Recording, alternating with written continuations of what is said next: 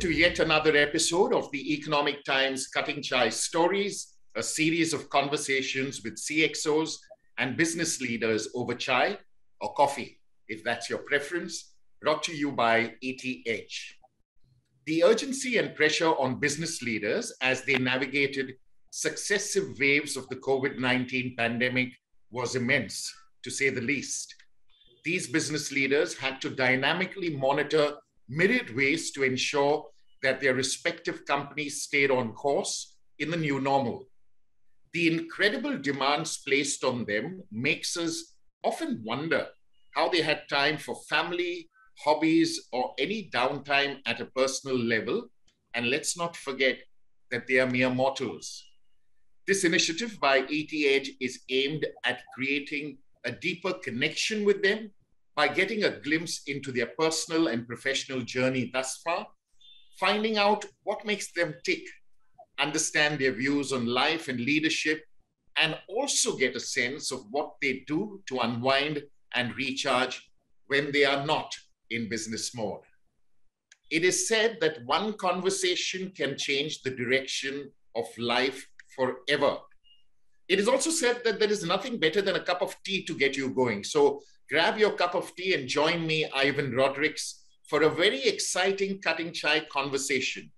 Today, it's my pleasure to host Prashant Joshi, Managing Director and Head of Consumer Banking Group at DBS Bank India. Prashant, welcome to the Economic Times Cutting Chai Stories. Many thanks, Ivan. Good to see you and uh, great to be on this forum. Good to have you on this forum. Uh, how are you doing today, uh, Prashant, on a, on a very rainy day? I'm good. It's a pity that I have to be in office while it is raining uh, so well. I mean, yes, yes. Mumbai in rains is not such a bad place, actually. Not at all. Not at all. Especially for those of us who've grown up here over the decades. Yeah. Uh, okay, let's kick off this conversation, uh, Prashant. I, I started off by talking and touching on COVID, and we talked about the successive waves. It's been over two years now. Let's hope there is no third wave. Uh, yeah. Pre-COVID to to now, you know, it, it, has impacted you, me, and the entire world, in directly or indirectly.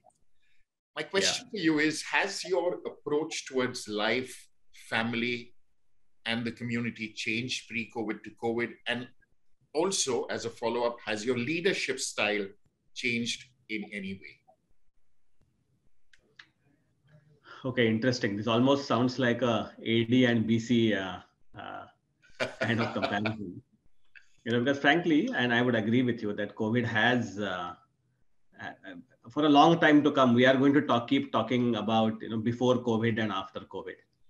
I think it's it's clearly uh, made a huge huge difference to the way we uh, think about our own lives. I think the first thing uh, which is just and which which always knew, uh, but I, I, guess we never experienced it. Uh, and unfortunately, like most other people, uh, you know, all of us have either seen someone suffer who is very close to us, or or unfortunately even lost someone who is very close to us. Right. Right and uh, this time around um, no one has been an exception. Uh, so clearly while the transience of life was always known right i think really one experienced it for the first time. Yes. That one is here today and not not here tomorrow. Uh, so i think that clearly in in terms of uh, uh, making a few decisions uh, just to give a simple example. So you know before covid i had not even listed down uh, all my investments properly in one place uh, almost thinking that i am immortal. And if something were to happen magically my uh, wife and child will figure out what needs to be done. Right. Right? But during those days one figure, one one realized that anything can happen at any point in time which is why i said that the transience uh, which we keep thinking and talking about uh, actually it hit home. Um, and um, I actually pulled out a list and made a full list of my investments and uh, whatever else, right? Uh, things to do if I'm not there. And and actually, I just I named that Excel just in case. Mm. And, and and mailed it to my uh, family. It was it was weird. I, two years back, I couldn't have thought uh, I was obviously not thinking about it. it. It's actually, it's actually with or without COVID, one should be doing this. Right? It's just a good practice to have. Right. Uh, but something as as simple as that. So clearly, I think that the fact that this is transient is is has hit home. Right. That life is indeed transient, and uh, so so that's that's one part. Uh, in in terms of leadership uh, as well, I I I, I think uh, one has become much more understanding and uh, um, I think one of I was always compassionate, you know, but much more understanding and accepting. Mm. Right, and, and earlier was a very hard driver, taskmaster, uh, and uh, you know we have to get this done, and and therefore you know there's nothing in our way uh, which can stop us. Right, I think some some of that uh, some of that has gone away. Okay, and and it just became more humane. Uh, um, I think more compassionate than than what what I was before, personally at least as a, a leader. Right. Uh, and and also I think I have started to listen to others more uh, post COVID. I don't know whether it's a COVID impact or what it is, you know, but uh, but but yeah. Uh, so clearly, I said personally the the transience of it all has hit home, and uh, I think professionally uh, I can I, how should I if I have to put it right, I think one has just become a little more compassionate more understanding, uh, more, more listening, more more empathetic. I think more empathetic. Yeah, that's the right way of putting it. Yes. Yeah, yeah. Wonderful. What a lovely note to start uh, this cutting chai conversation on. Let me now try and take you down memory lane, Prashant. If you were to go back to the early years of your childhood, school, or later college, um, yeah. could you let us know about any positive influences or incidents that contributed towards shaping your foundation in those formative years? Yeah, I, I just I just like two specific instances, right, which were which were uh, uh, which which I still recollect. One, uh, most of us are influenced by our parents, and um, I, I was I am yet even now influenced by my father a lot and in, in, in my childhood, uh, there are two things which I still uh, uh, remember, you know, from him.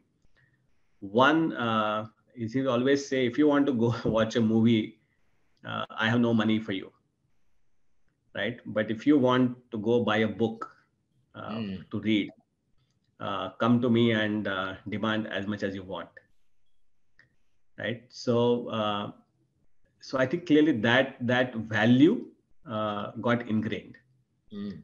that uh, you know that where do you need to spend and for what purpose do you need to spend right uh, so and i'm a great fan of cinema and movies by the way oh uh, wow. but but but irrespective but i think in in in terms of uh, I know uh, that that value of saying what is important to you sure. in in life and where do you need to deploy your i mean to use a management jargon where do you need to deploy your resources i think that lesson was very very very clear.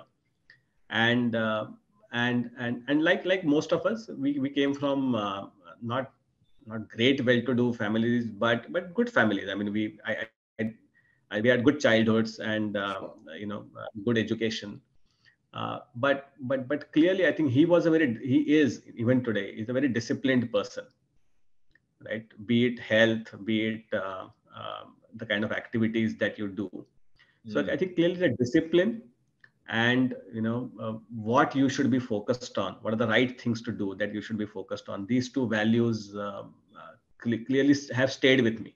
Right. And uh, and and therefore um, in, in in business also right it's about deploying resources for the right reasons. Yes. Uh, so that so that and discipline right? These these things are absolutely critical. Right. So these two have clearly stayed with me. But it's one very different different incident uh, as well, and which, which is with a complete stranger. Uh, okay. And I actually, uh, I while I'm a banker now, I used in my college days I, I used to be a radio jockey. Ah, wow. Yeah. Okay. Yeah. And uh, at that time there was no FM, so there was only nice uh, all India radio, you know, where I used to go yeah. and uh, record these programs. Okay. And and and I used to go record programs, you know, collect my check, which was a, a princely sum of 720 rupees, which in those days was a great uh, amount of money to have. Absolutely. And um, we used to, I used to do it. I mean, I and I did it almost for three years. You know, one of the times, you know, uh, the the lady direct station director, she just uh, after the after the recording was over, she stopped me and said, "I want to speak with you." Hmm. And I said, "Okay, tell me what it is." Uh, I thought she was going to say that it's over now. I think you've done it for three years, good enough, you know, so no more. Hmm. Uh, so she said, you know, I have found you uh, um, as a very nice person. You know, twice, you know, we couldn't accommodate uh, you because some uh, other recording came up, but you were just being very nice. You never complained. You came back again and recorded. So I just wanted to, I just wanted to say thank you and that you are a good person. Wow. And I, I, I can't tell you I had goose goosebumps when she said that, you know, uh, because one of the things while while I said I inherited some values uh, and good values from my family, my father, right? One thing was very clear in the family that no one appreciated us on our face. Mm. Never. Yes. Even if you even if you topped the school throughout, didn't matter. Right. Right. No one ever said you did a good job. Mm. Right. And this is almost first time someone said that to me. Almost almost a complete stranger, mm. and uh, it it puffed my chest.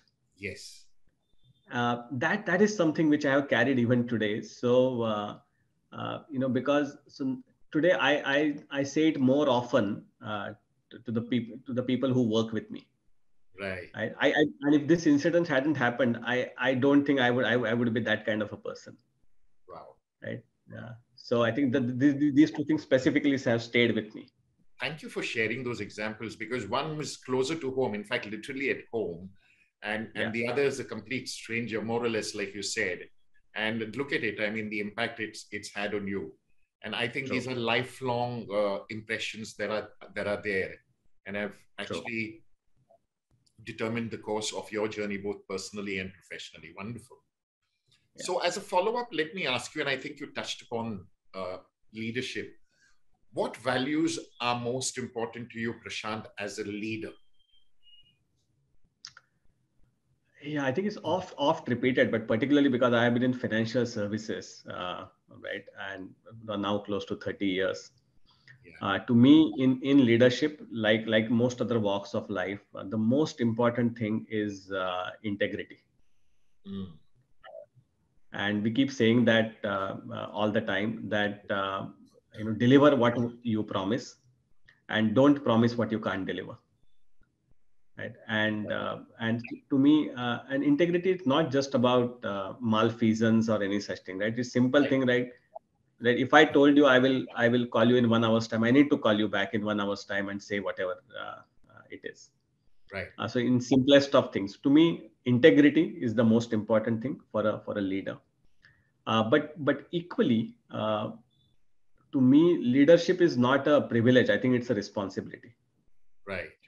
And understanding that is very important. Uh, you know, because uh, it, it's a responsibility uh, to deliver many outcomes, uh, and and and that is much more important than being treated as uh, an honor or a privilege. Right. So one is integrity as a value, understanding that leadership is uh, responsibility Right. And the third thing, uh, which which again maybe partly COVID, but even before that, I had this view that uh, if you when I studied management, the, the the overall view of leadership was of this macho ma- macho man uh, and uh, almost like a Superman who will uh, charming, but still driving one hard. Mm. and you know getting that outcome uh, uh, in, in place almost larger than life I think that has changed completely and rightly so. Uh, so, so as a leader, I'm very comfortable sharing my vulnerabilities with my people. Right. And and I think uh, whether pre-COVID or post-COVID, I think that humane side of leadership is equally important. Right. So I think treating leadership as a responsibility, uh, integrity, as I said, is uh, non-compromisable, and then in some fashion, uh, uh, they said being open to sharing one's vulnerabilities is it's a trait that I would love to see uh, across all leaders. It's fantastic. You passed out from IIM Calcutta, if I'm not mistaken, in 1991. 93. 93, 91 to 93. Yeah, I went went in into uh, IIM at 91. Yeah. Right, right. And you know, as you were talking, it took me back to my days uh, when I passed out in in from SP Jain in 89. Uh, you oh. did your MBA in finance. I did mine in marketing. Uh, you know what you touched upon. You know, you talked about the vulnerability aspect, and it takes a lot of courage. I wish at that point in time we had subjects. I know we had organizational behavior and all that. I wish we had subjects besides the core area that we are focusing on would focus more on these aspects because as you grow as a leader, I realize that it was not about your domain knowledge, like you said, you know, that Superman who's going and slaying everything. It, yeah. not just about that. It is the softer skills, it's aspects of vulnerability that you're talking about. I wish this is coming into the curriculum at least now, you know, because the world has changed. I, I completely, I couldn't agree more with you. I'm sure educationists who are listening and will listen to this uh, do take note of that because I think that's a big thing going forward. Yeah, okay. I agree. Okay, let me ask you a follow up question. And you touched upon leadership, but there are a lot of young leaders who will watch this uh, cutting chai conversation. So, what advice would you give someone? You talked about integrity, but for someone going into a leadership position for the first time, what would be your advice, Prashant? I think I talked about responsibility as well, right? So, yes. and, and I, I do this whenever I speak with people, uh, when I sit with leaders and chat with them, I ask them what does leadership mean to them, and uh, there are many answers which people uh, provide, uh, and responsibility is a very rare answer. Mm. and I'm, I'm not trying to be uh, when I say responsibility, it is not about feeling that oh I own this set of people now, and I'm I'm kind of um, you know taking care of their families. That's a very um, that's an argument which I don't like actually. Yeah yeah it's a uh, but but but i think just to feel responsible for the organization for the outcomes that we uh, uh, deliver uh, is, is is very important as a as a leader. So that's that's that's number one. Number two the realization that um, we can do only uh, uh, so much alone. Mm. and um, it's basically through collaboration that we need to deliver and i have always felt this in india given the fact that we we have always been competing all the time right, right. as you said you were at SP Jain and iim we needed to compete with 30000 people to get into 300 seats Absolutely. so it's the focus has always been on individual brilliance individual contribution and so therefore this tendency of how can i get ahead in the queue mm. and and that still doesn't go away yeah right? so i think that so that DNA of collaboration is not there with us. Right. Uh, but the but the fact is that if we collaborate, uh, outcomes will be far superior. That realization also uh, uh has to be there. Right. So to me, responsibility and the idea of uh, uh, collaboration is something which are which as leaders one has to have. Otherwise, I, it's very difficult. I think that's yeah. fantastic advice. You know, like you said, you know, the word if you just break up the the meaning of the word responsibility and collaboration itself. If young leaders can can can get their act together on these two, these two aspects, I think they'll be fantastic leaders because collaboration is the name of the game today. Yeah, absolutely. May I ask you, what is the most important risk you took along your personal or professional journey and, and why did you take it and was it worth it? Okay, on the, on the professional uh, uh, uh, journey, actually, I, I, can say that um, about uh, six years back, uh, you know, I used to run uh, a large, again, consumer bank with a foreign bank, and you know, you know, from there, I I decided to move into an NBFC. Okay.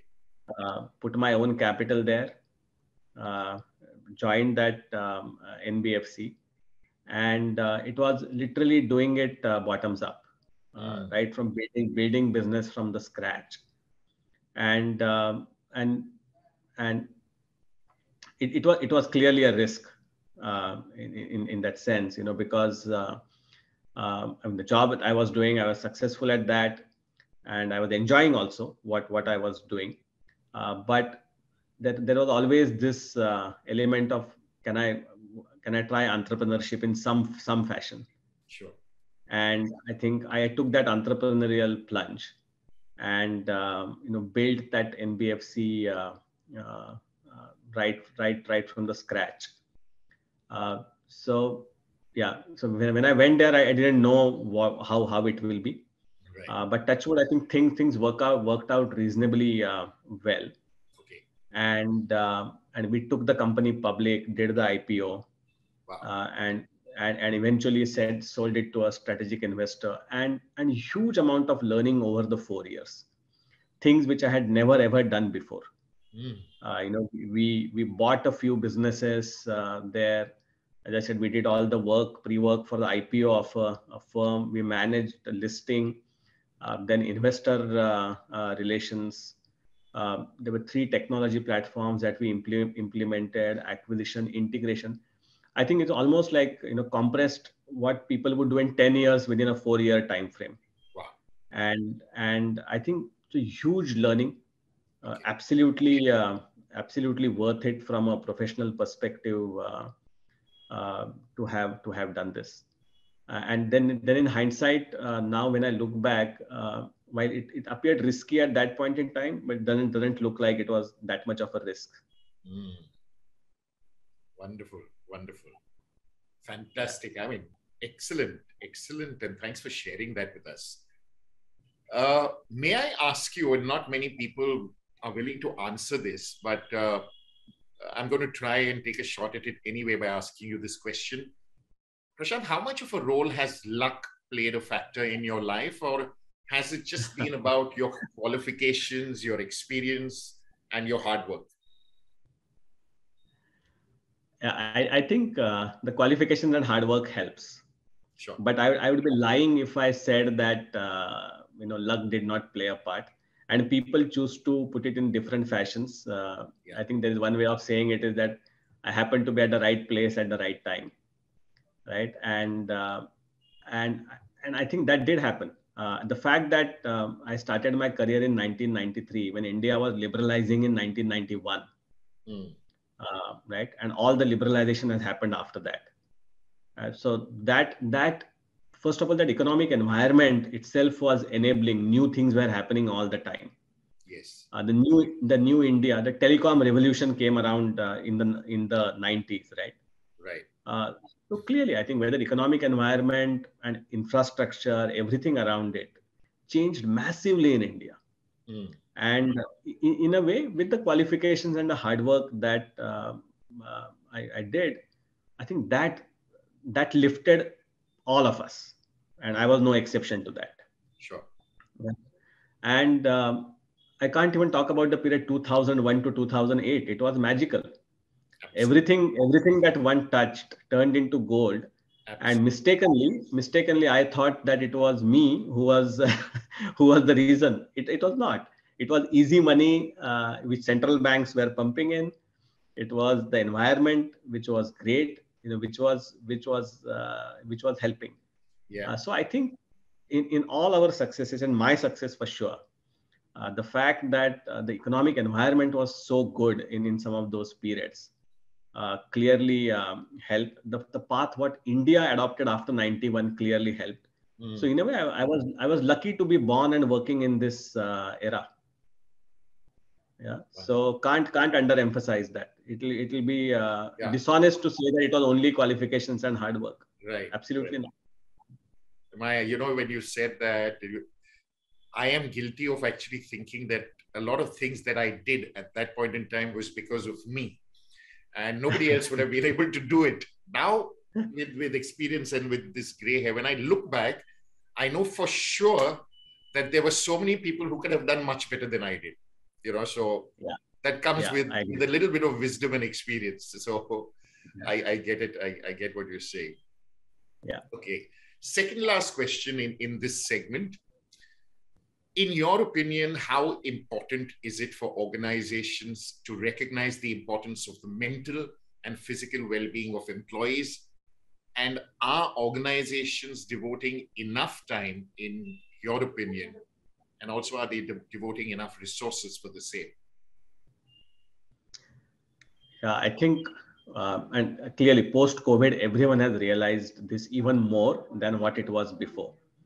Uh, that if employees are not in good mental space uh, and and physically if, if you are if you are not in good shape if mentally you are not in good place uh, it, it's going to affect uh, our work and the quality of work and uh, therefore eventually the outcomes mm. i think most organizations have realized it my fear is that as covid recedes mm. we will relapse into your our earlier uh, uh, era where if you worked late, uh, it was the in thing to do. Mm. Uh, and uh, uh, you know, and, and work-life balance was almost kind of uh, uh, made fun of. Mm. Right. so I think organizations, most organizations, in all fairness, have the right intent. D- DBS, I clearly see that very clearly. All of us are committed to that. As an organization across, there are many initiatives that we are taking to make in including the future of work we have, you know, where we have said permanently now, you know, two days in a week, one can work from home. Nice. Uh, right? So that's only being one of the things. I don't think that that alone ensures physical and um, uh, mental well-being. There are many other initiatives. Sure. But I think most organizations are uh, are going that path. But as I said, my only worry is that as COVID recedes and we get back to more normalcy, hopefully we don't go back. Right. Fingers crossed. Yep. I hope there's a mindset change there. I, I really hope. Uh, Prashant, final question in this segment for you. Uh, how do you unwind any interests, hobbies, or activities that you indulge in? And, and are there any items on your bucket list that are yet to be fulfilled? Wow. Uh, no, I think I have many interests actually. Okay. Uh, so I'm a very avid uh, reader, uh, particularly Marathi literature. Marathi literature, I, I, I movie goer, you're yeah. right. But the two things which I really love doing. One is I'm also a marathoner. Uh, so wow. I, I, I took up running pretty late, but I, I really enjoy it. I find it almost meditative. Mm. Uh, and uh, so when I go on my long runs, I really enjoy it. And uh, for whatever, I will never miss those, whatever may happen. So that really helps me. And the second thing is uh, you know, I love Hindustani classical music. Wow, wonderful. Uh, I am also trained in Hindustani classical music. In fact, it's my regret uh, that when I talked about when I joining the NBFC for becoming an entrepreneur, I actually had to leave uh, learning because I couldn't find time. Uh, but but but I, I love uh, Hindustani classical music, and there's very rarely a day where I wouldn't uh, listen to at least some of it. Okay. so that that clearly helps me and uh, and one thing which i still need to do i have promised myself that i will watch uh, all the grand slam uh, four four grand slam finals live in the stadium. Wow. Okay. I, i'm yet to do even one. Okay. So that clearly is something which is still pending. But i am i'm hoping to accomplish it sooner than later. Wonderful. Wonderful. May your wish be fulfilled very very soon Wonderful. Thank you. Thank you, Ivan. Uh, I'm, I'm just having such a wonderful time. I know we could go on, uh, but what I'd like to do is switch gears a little bit and move to another segment in this cutting chai conversation called the one word, one line answer. Uh, so, Prashant, mm-hmm. what I'm going to do is uh, ask you a set of questions where you need to answer in one word or one line. Okay, if it's a line, I'll specify. Uh, very simple okay. stuff. The idea is to get to know you better beyond uh, you being the managing director and head of consumer banking group at DBS Bank India. So it's a fun round. Uh, are you ready for it? Yeah, let's go. Okay, great. What's your favorite uh, meal or dish if you were to choose one? Pad Thai. Uh, what, what? Pad Thai. Thai cuisine. Ah, Pad Thai. Yeah. Okay, great. All-time favorite ice cream flavor? Mango. Okay. Which business leader do you look up to or admire the most? Indra Nooyi. Nice. Uh, what was your favorite subject in school? Mathematics. Okay. Uh, let me then ask you what was the mo- subject you disliked the most in school? Chemistry. Really? Chemistry? Oh, yeah. I thought you would say history or or civics or geography or something like that. Okay. Uh, I think you've answered, and you might say I want to choose both the options, but let me ask you uh, kindly choose one exercise Yeah. or diet. Exercise. Okay. Work hard or play hard. Work hard. Nuclear family or joint family. Joint family. I live in one. Okay. Okay. Uh, misal pav or pav bhaji? Oh, that's a tough one. Misal pav. misal pav, yeah, yeah. Then let me ask you another one. Let's see if this is tougher. Sabudana, sabudana vada or Yeah. a- aloo cha vadia? Aloo cha vada. Aloo cha Any day. Okay. Uh, painful truth or comforting lie? Painful truth. Three people who are closest to you, Prashant. My father, my son, Okay. uh, and uh, my brother. Okay. Describe your journey thus far in three words.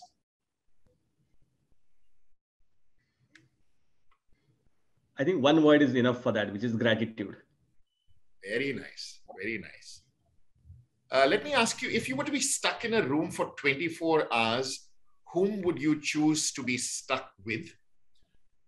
Ratan Tata, Aamir Khan, Steffi Graf, or Mark Zuckerberg? Choose one. Steffi, I've been a big fan of hers.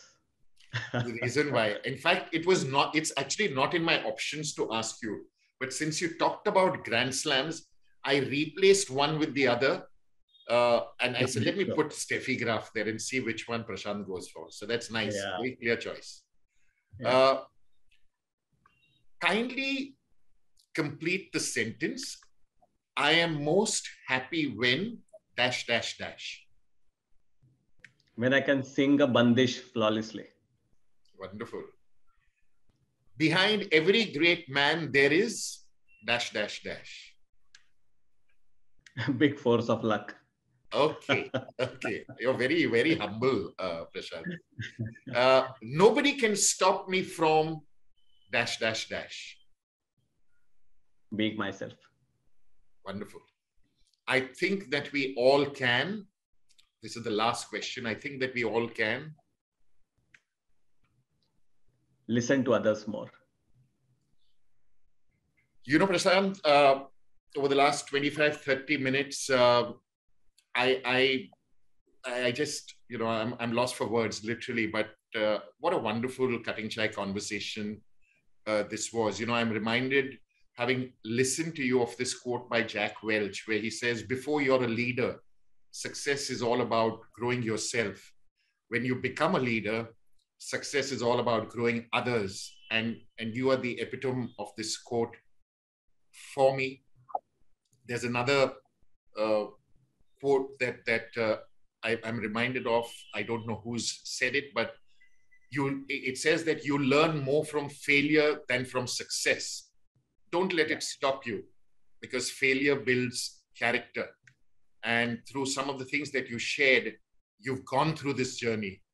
And uh, the the final quote again, based on on your responses, was. Uh, this quote which says that success isn't just about what you accomplish in your life it is about what you inspires inspire others to do and once again uh, you know you uh, epitome uh, are an epitome of that uh, prashant so ladies and gentlemen that was prashant joshi managing director and head of consumer banking group at dbs bank india i had a wonderful time chatting with you and i'll repeat that again we wish you prashant your family, and the DBS Bank India the very best going forward. Thank you, Ivan. You have been very generous. Thank you.